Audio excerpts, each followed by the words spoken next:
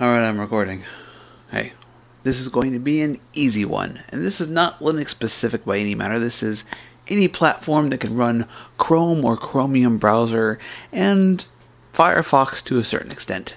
We're going to upload images from our desktop computer onto Instagram natively through the web browser. Check it out. Here's my Instagram page. Now, I have been famously angry about Instagram's app tie in policy they've been pushing. Well, they used to push up until recently. So I actually left Instagram. In fact, I have a post way down here. This is from, uh, well, 82 weeks ago. I've decided to remove my Insta application from my phone. I have a lot of friends on here. So if you keep following me, I have a Twitter. And uh, then flash forward. I might start use, using Instagram again. Not sure. That was a week ago. Since then, um, I've been using Instagram, but only because of its compatibility with the web. And it's not an obvious compatibility with the web because you still have to uh, do some weird tweaking to make it to your liking. But I'm going to show you how simple it is to do. So, if you're running Chrome browser, or actually most browsers anymore have a developer tool, but Chrome browser is a little more compatible with Instagram, so we're going to do that one.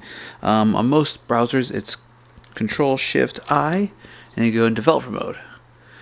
Now, by default, it looks like this, but there's a little toggle device toolbar, and you can select your mobile device, which I already have the Nexus 6P selected. And now, what this does is it sends a user agent to the website that this is a phone.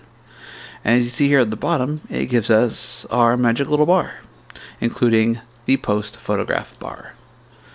So I'm going to go, I think, put on my desktop. There we are, this beautiful daytime picture here. Oh, that, that's a that's a weird thing. Every time I do that, it, it asks for it twice. I don't know why, but there we are. And I have the option of zooming out. I'm gonna go ahead and zoom that one in. That one's gonna look pretty good right there. Um, you can't move it up or down or anything. You can't do videos. Only JPEGs right now. Hopefully they add all those other functions in there, but still, this is a start. And you hit next. Um,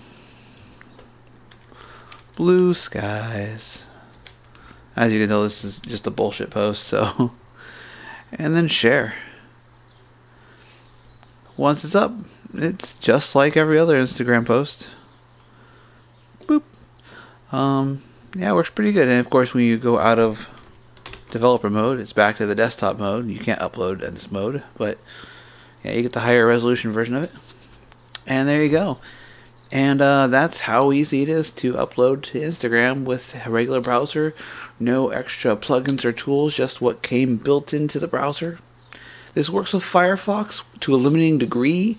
Um, the upload function works, but like the crop settings is weird. And sometimes when I try to type in a message like my, like down here, my blue skies, that text field is just not responsive for some reason. Hopefully, we'll figure that out in the future. I really hope that Instagram decides to open up their API as a general API so we can have tools like, you know, nice command line uploader or something, something cool like that. But this is a step in the right direction. So, yeah. Happy uh, posting. Peace.